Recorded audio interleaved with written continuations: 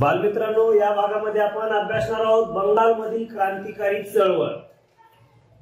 बंगालमध्ये जसे आपण या अगोदरच्या भागामध्ये महाराष्ट्रातील क्रांतिकारी चळवळीचा अभ्यास केला आता बंगालमधील क्रांतिकारी चळवळ पाहूया. बंगालच्या फाळणीनंतर आपल्याला माहिती आहे एकोणीसशे सहा साली बंगालची फाळणी केली. आणि त्या फाळणीनंतर काय झालं पहा ब्रिटिश विरोधी प्रक्षोभ अधिकच तीव्र झाला. प्रक्षोभ म्हणजेच विरोध ब्रिटिशांविरुद्धचा राग असंतोष लोकांमध्ये अधिकच तीव्र झाला. त्यांनी बंगालची फाळणी केली म्हणून. आणि मग सगळी जनता त्या ठिकाणी ब्रिटिशांच्या विरोधात उभी राहिली. मग त्या ठिकाणी काय त्याचा बंगालच्या फाळणीचे पडसाद काय उमटले पहा. अगोदर ब्रिटिशांच्या विरुद्ध फक्त स्थानिक ठिकाणी उठाव चाललेले होते. बंगालच्या फाळणीनंतर मात्र काय झालं? देशभर ब्रिटिशां विरुद्ध त्या ठिकाणी उठावाला सुरुवात झाली. राष्ट्रीय पातळीवर स्थानिक उठावाच्या जागी व्यापक क्रांतिकारी चळवळीचा उदय त्या ठिकाणी झालेला आहे.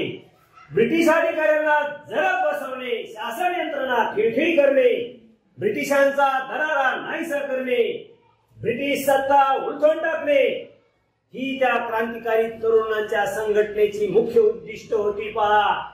काय करायचं होतं त्यांना? ब्रिटिश अधिकाऱ्यांना जर बसायची त्यांना धमकी द्यायची त्यांना भीती घालवायची. ब्रिटिशांची शासन यंत्रणा खिळखिळी करायची.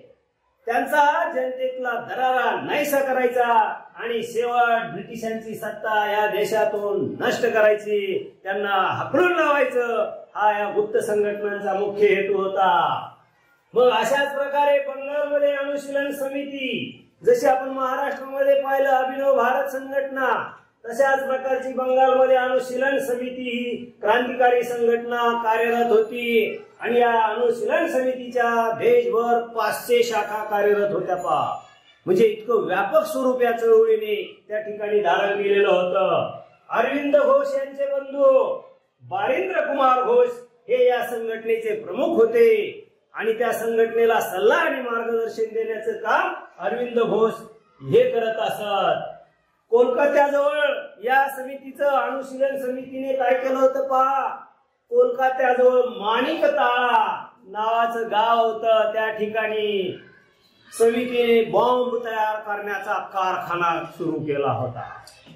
ब्रिटिशांना उलथून टाकण्यासाठी ब्रिटिशांना या देशातून हाकलून लावण्यासाठी अनुशीलन समितीने कोलकात्याजवळील माणिकताळा येथे समितीचं बॉम्ब तयार करण्याचं केंद्र सुरू केलं होतं. अशा प्रकारे सशस्त्र क्रांतीच्या चळवळीने या देशामध्ये स्थानिक उठावाच्या ऐवजी आता राष्ट्रीय पातळीवर तिने व्यापक स्वरूप धारण करायला सुरुवात केली होती. पुढील भागामध्ये आपण उर्वरित चळवळीचा अभ्यास करूया.